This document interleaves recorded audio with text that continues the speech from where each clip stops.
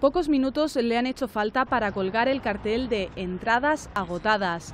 El nuevo Museo de Arte Contemporáneo de Los Ángeles, The Broad Museum, abrirá sus puertas de manera continua en septiembre, pero ha permitido ya a unos miles de afortunados disfrutar en primicia del que será uno de los acontecimientos de la ciudad este año.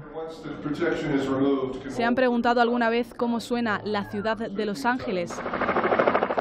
El artista Nielsen sí, y su obra acompañó a los invitados en el recorrido por los espacios abiertos y luminosos de The Broad. También la obra de Novak entretuvo a los visitantes que interactuaron creando sombras en la pared.